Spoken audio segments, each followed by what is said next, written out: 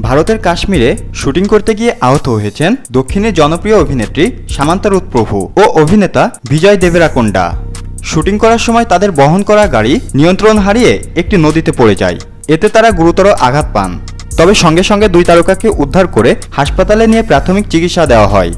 ভারতীয় সংবাদ মাধ্যম জি চব্বিশ ঘণ্টা জানায়, কাশ্মীরের পহলগাঁও নামক জায়গায় একটি সিনেমার অ্যাকশন দৃশ্যে শুটিং করছিলেন সামান্তা ও বিজয়। শুটিং করার সময় এক পর্যায়ে গাড়ি নিয়ন্ত্রণ হারিয়ে লিডার নদীতে পড়ে যায়। দুর্ঘটনার পর সামান্ত ও বিজয়কে নিকটবর্তী একটি হাসপাতালে নিয়ে যাওয়া হয়। সেখানে তাদের প্রাথমিক চিকিৎসা দেওয়া হয়। সে সময় বেশ কিছুক্ষণ শুটিং বন্ধ ছিল, তবে বড় ধরনের কোনো ক্ষতি হয়নি তাদের। চিকিৎসক জানিয়েছেন, আপাতত দুই তারকাই সুস্থ রয়েছেন। কাশ্মীরে খুশি সিনেমার শুটিং করছিলেন সামান্ত ও বিজয়। এটি চলতি বছর তেইশ ডিসেম্বর প্রেক্ষাগৃহে মুক্তি পাওয়ার কথা রয়েছে। ভিডিওটি কেমন লেগেছে তা আমাদের কমেন্ট করে জানাবেন। ভালো লাগলে লাইকে ক্লিক করবেন। পাশাপাশি এমন ইন্টারেস্টিং এবং মজা মজার সব ভিডিও পেতে আমাদের চ্যানেলটি সাবস্ক্রাইব করার পর বেল আইকনটিতে ক্লিক করে রাখবেন। আমি এবারের মতো বিদায় নিচ্ছি। ধন্যবাদ।